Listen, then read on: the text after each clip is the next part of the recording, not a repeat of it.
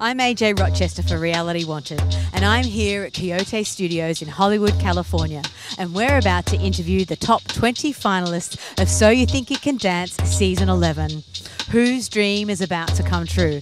Has your favourite made it? And who's about to follow in the footsteps of Twitch and carve out their own niche in the history of So You Think You Can Dance?